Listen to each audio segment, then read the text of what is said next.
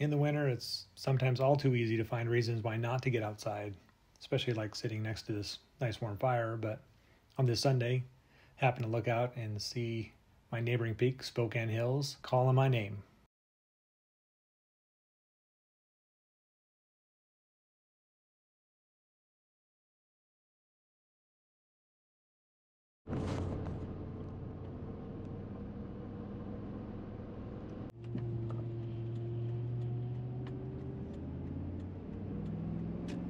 Spokane Hills sits between the Elkhorn Mountains and the Big Belts, just southeast of Helena.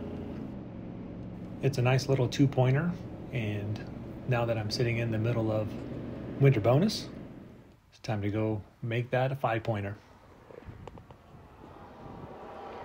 The access gate here, right off of Highway 12, is pretty convenient. There's no real trail, you just kind of have to find the best way up. It's a nice gradual warm up at the lower part and quickly escalates into a bit of a thigh burner, but not nothing too bad. You quickly gain elevation and have a commanding view of the Elkhorn Mountains. This is the third time I've been up here for a SOTA activation, and every time I've seen some deer.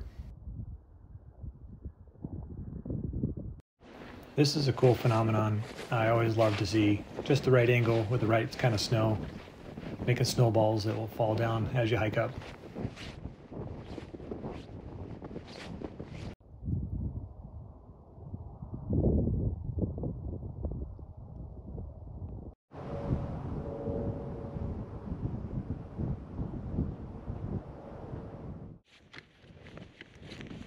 I love this last little approach as you kind of round the crest of the summit here, doing a little rock hopping, and it reveals a beautiful view into the Helena Valley.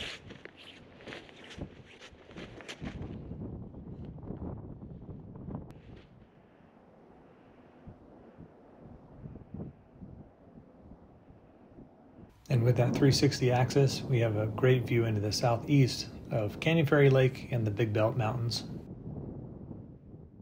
Because this was a late in the afternoon, last minute decision, today's activation was all 2 meter FM and thankfully successful to all those ham friends I have in the Helena Valley and a couple of my friends down in Bozeman for those longer contacts. Until next time, 7 3, we'll catch you on the next one.